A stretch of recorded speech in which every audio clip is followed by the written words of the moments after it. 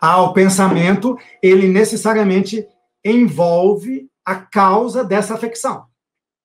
E a causa dessa afecção, mais do que o outro ser ou a outra potência, envolve principalmente a minha potência, que é modificada. A, aquela modificação não aconteceria em mim sem a contribuição é, insubstituível da minha potência.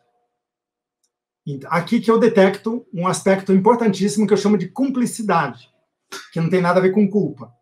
Tá? Então, aqui, aqui um aspecto clínico fundamental. Para quem trabalha com clínica, isso é fundamental.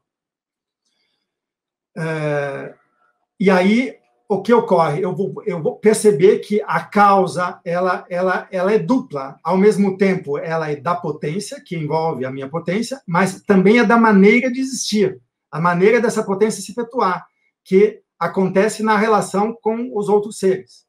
Então, a maneira de se efetuar é causa mais do que um outro. Tá? Eu posso me relacionar com outro sem abrir mão da maneira de me relacionar. Eu posso me relacionar com qualquer caso, pode vir, qualquer caso, mas não vem de qualquer maneira, porque eu crio uma maneira tal que necessariamente se torna afirmadora do meu processo de diferenciação da minha potência.